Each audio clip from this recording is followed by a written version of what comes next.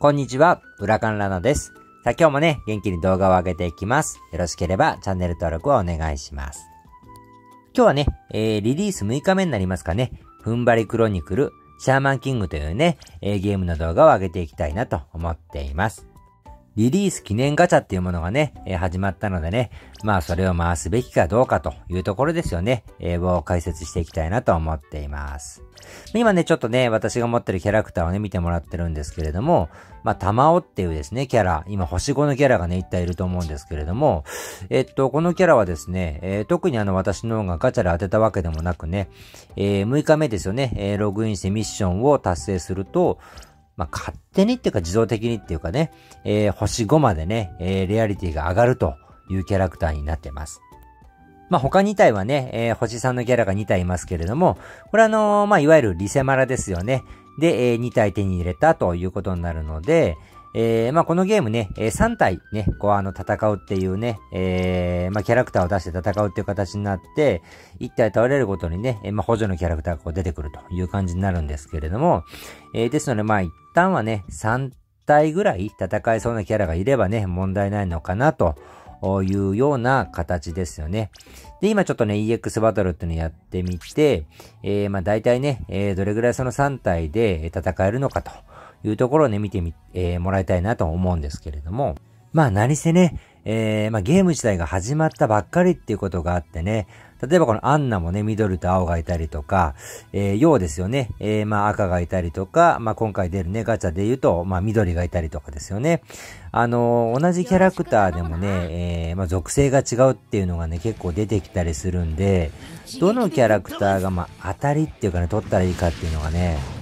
ちょっとまだね、見えないっていうのが正直なとこなんですよね。うん。で、まあもちろんこれからね、えー、ハオが出てきたりとかね、えー、まあ敵のキャラですけれどもね、えー、まあいろいろこうキャラクターが出てくると思いますので、まあ今ね、こう無理やりね、えー、まあダイヤというかガチャを回せるものを使ってね、えー、まあ必死に取りに行くっていう形じゃなくてもね、一旦ちょっと様子見で、せっかく星5のキャラもねえ、6日間ログインしてミッション達成するともらえるんでね、えー、まあ、そんなにここはね、えー、焦らないで、最低限、え、まあ、星さんが2体ぐらいとか3体ぐらいいるんであれば、まあ、様子見でスルーっていう感じでもいいのかなと思いますね。うん、それでも十分ね、え、こんな感じで戦えるのでね、えー、焦ってね、えー、取らなくてもいいんじゃないのかなというのが、まあ、正直な感想です。まあ、ただもちろんね、えー、シャーマンキングファンの人でね、えー、まあ、全キャラコンプリートしたいんだとかね、えー、そういう人がいればね、バンバンもちろん取るのはね、いいと思うんですけれども、まあ、あの、キャラクターごとにね、もちろんこの攻撃力が違ったりとかね、えー、まあ、ヒットポイントが違ったりとかっていうのもやっぱあるので、えー、同じキャラのも属性違いですよね。まあ、今見てもらってますけれども、えー、うでも、この攻撃力は5200ですよね。えー、ありますよね。えー、もう一踏ん張り朝倉陽というキャラクターですよね。こういったものがあったりとか、えー、今度はレンかな、タオレン。ね、えー、こっちはもう攻撃力5300と。で、防御力が3600っていうことでね。えー、まあまあ、今出てるキャラの中ではね、比較的強い方なんじゃないのかなと思うんですが、えー、大体ね、やっぱりどのゲームもそうなんですけれども、えー、始まってから少し経っていくとね、えー、まあ今よりも強いキャラが当然出てくるのでね、えー、まあまあまあ、えー、よっぽどのキャラクターが、まあ、揃ってないという人以外はね、えー、一旦、まあ、保留、まあ、様子をね、えー、見るっていう感じでいいんじゃないのかなと思います。はい。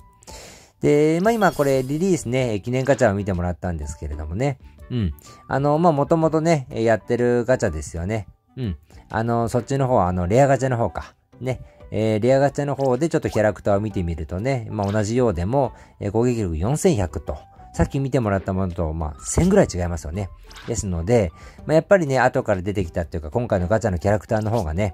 えー、まあ、性能としては優遇されているというところはあるので、えー、まあ、一旦取っといてもいいですし、えー、まあ、様子を見るとね、いう感じでもいいのかなと思います。えー、ちなみに私はまあ、ちょっと後者ですね、えー、様子を見て、えー、もう少しキャラクターが出揃ってからガチャを引きこうかなという感じになりますので、まあ、皆さんもね、えー、まあ、そのあたり、えー、どうするかっていうのをちょっと参考にしていただければなと思います。私のね、結論としてはね、えー、まだ慌てなくてもいいのかなということになります。えー、まだね、始まったばっかりのゲームですので、えー、今後ね、楽しみにしていきたいと思います。それでは。